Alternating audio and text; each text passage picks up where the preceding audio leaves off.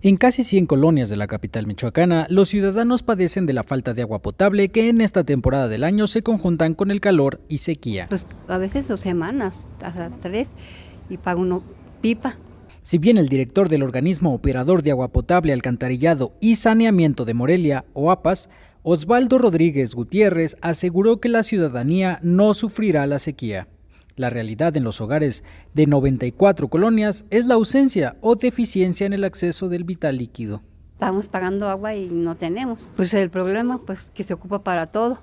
No tenemos ni para nada, para servicios. Y anda uno, yo acá, la señora tiene una pila, voy y le pido unas barricas para el baño. Datos proporcionados por el organismo detallan que el bajo gasto de los pozos, la baja presión que se observa en las zonas altas de los asentamientos, el bajo nivel de los tanques y los ajustes de horario de servicio para buscar redistribuir el agua existen, llevan a acentuar la carencia pero también están más causas atribuibles a las personas, desde las necesarias para mejorar o paliar el servicio como obras públicas, mantenimiento correctivo, hasta aquellos ocasionados por posibles eventos de vandalismo, robo de tubería, daño al equipamiento y fugas no identificadas.